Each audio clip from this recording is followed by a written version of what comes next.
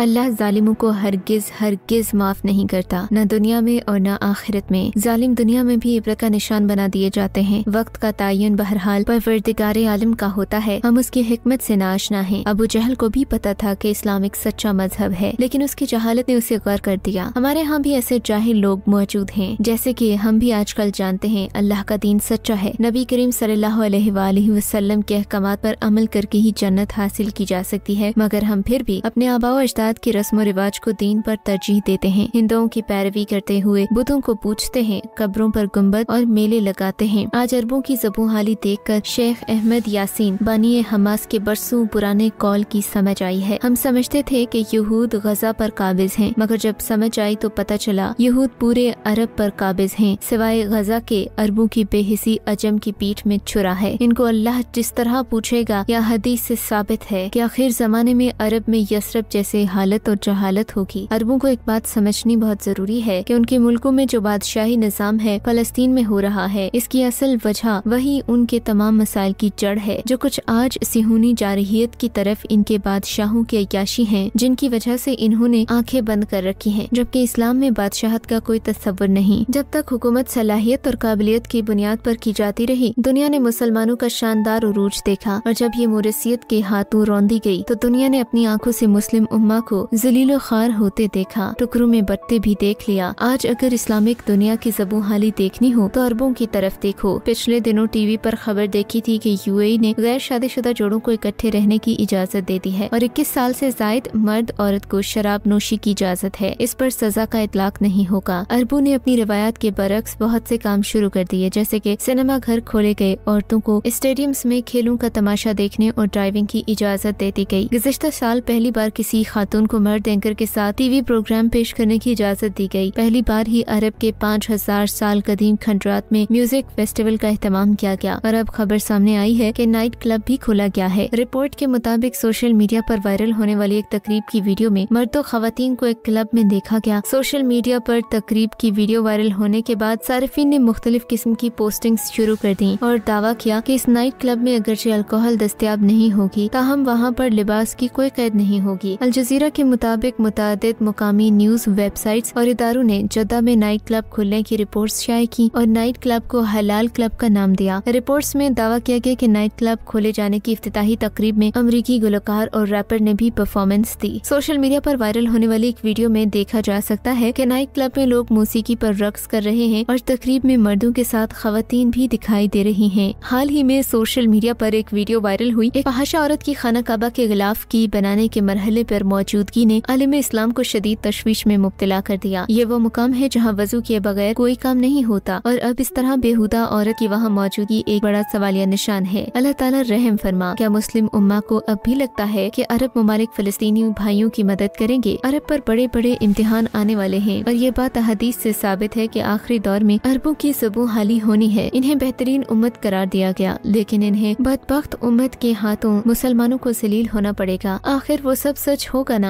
Gold plated تیاروں اور کاروں سے لے کر ہیرے جڑی اشیاء تک اربوں کے عیاشی اور امیری کا کوئی جواب نہیں۔ لیکن حالت ان کی یہ ہے کہ ایک اکیلا اسرائیل جب چاہتا ہے، ان کے منہ لال کر دیتا ہے۔ اربوں نے عیاشیاں کمائی نہ فوج بنائی، نہ دفاعی قوت۔ آج ننگے اونٹ کی طرح چٹیل صحرا میں شکاریوں کے منتظر ہیں۔ ہم غریب ملک سہی ہمارے حکمران لاکھ بغیرت سہی مگر ہم نے اللہ کی مدد سے دنیا کی ٹاپ مضبوط ترین فوج بنائی، اسلحہ اور ٹینک بنائے۔ ہم نے جنگی جہاز بنائے۔ آج ہم اللہ کے کرم سے کسی دشمن کے لیے کم از کم تر نوالا تو نہیں۔ آج ہم اندر اور باہر کے دشمنوں سے بیک وقت لڑ رہے ہیں، مگر جب بھی کوئی ایسا وقت آیا تو ہم اور ہماری پاک فوج، حرمت پاکستان کی حفاظت کے لیے ہمیشہ صف اول پر ہوں گے، انشاءاللہ۔ آج فلسطین میں مسلمانوں کا قتل عام دیکھتے ہوئے دل بوچھل اور افسردہ ہے۔ امریکی وزیر خارجہ اینٹونی بلنکن اسرائیل کے ساتھ ہمدردی اور یکجہتی کے اظہار کے طور پر تیسری بار طلبی پہنچ چکے ہیں۔ ان کی موجودگی میں اسرائیلی طیاروں نے بیک وقت تین ہسپتالوں، القدس الشفا اور انڈونیشین ہسپتال کو نشانہ بنایا۔ الشفا ہسپتال کے گیٹ پر ایمبولینس کو نشانہ بنایا گیا، جس میں پندرہ افراد شہید، سولہ زخمی ہو گئے۔ اس کے ساتھ ہی اقوام متحدہ کے ایک اسکول کو نشانہ بنایا گیا، جس میں بے گھر ہونے والے افراد نے پناہ لے رکھی تھی۔ اس میں بیس سے زائد افراد نے جامع شہادت نوش کر لیا۔ بڑی تعداد میں لوگ زخمی ہوئے۔ فلسطین میں کام کرنے والی اقوام متحدہ کی چالیس سے زیادہ ٹھکانوں کو نشانہ بنایا جا چکا ہے۔ اقوام متحدہ کے ستر اہلکار ان حملوں میں ہلاک ہو چکے ہیں۔ اسرائیل چھتیس صحافیوں اور ان کے سینکڑوں اہل خانہ کی جانیں لے چکا ہے۔ طلبی عالمی عالمی برادری اور اقوام متحدہ کو ٹھنگا دکھاتے ہوئے زیادہ سے زیادہ شہری ہلاکتوں کو یقینی بنا رہے ہیں۔ مگر اسرائیل کا انتقام مکمل نہیں ہو رہا، نہ اسے حاصل امریکہ کی تائید میں کوئی کمی آ رہی ہے۔ اقوام متحدہ جس کے وجود پر ہی غزہ کی اس جنگ نے سوال اٹھا دیا ہے، اسرائیل کے حملوں میں ہر روز اوسطن چار ہزار بچوں کی شہادت کی تصدیق کی جاتی ہے۔ ہر رات ظلم کی ایک نئی داستان رقم کی جاتی ہے۔ ہر گزرتے دن کے ساتھ اسرائیل اپنے حملوں میں جری ہوتا جا رہا ہے اور اہل فلسطین بے بسی کے عالم میں پوری دنیا اور بطور خاص عرب ممالک کی طرف دیکھ رہے ہیں۔ ہونا تو یہ چاہیے تھا کہ اپنی تمام تر بے بسی کے باوجود وہ عرب حکومتیں جو اسرائیل کے وجود کو تسلیم کرتی ہیں، کم از کم اپنا احتجاج درج کراتے ہوئے اسرائیل سے اپنے سفیروں کو واپس بلانے کا اعلان کر دیتی اور اہل غزہ پر یہ بھروسہ لاتی کہ انہوں نے بھلے ہی اسرائیل کے وجود کو تسلیم کر لیا، مگر فلسطینیوں کے حقوق سے غافل نہیں۔ پر ایسا نہیں ہوا۔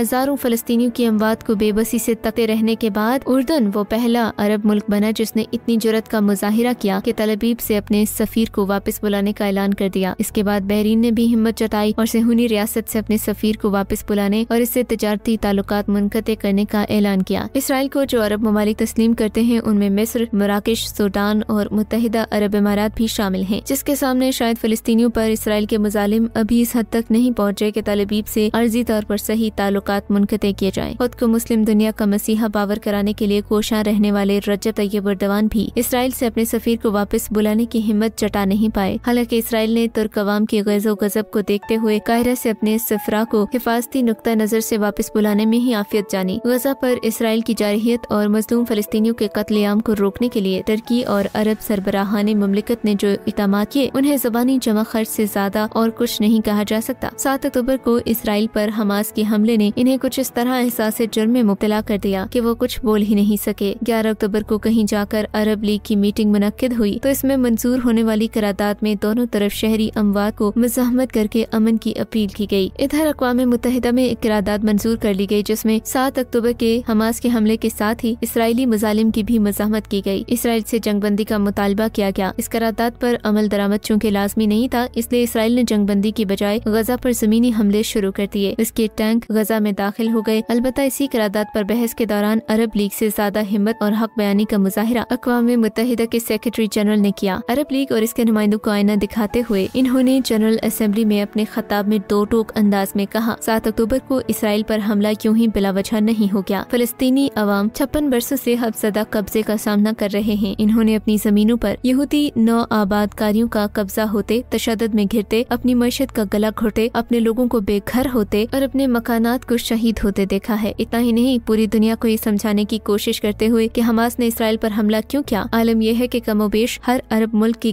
گردن دبی ہوئی ہے۔ غزہ میں تو ہر شہادت کے ساتھ فلسطینی کامیابی کی نئی منزلوں کو چھو رہے ہیں، مگر اس جنگ میں اصل شکست عرب ممالک کو ہو رہی ہے۔ انہوں نے اگر ہوش کے ناخن نہ لیے تو وہ وقت دور نہیں، جب ان کے حالات بھی فلسطینیوں سے بتر ہو جائیں گے۔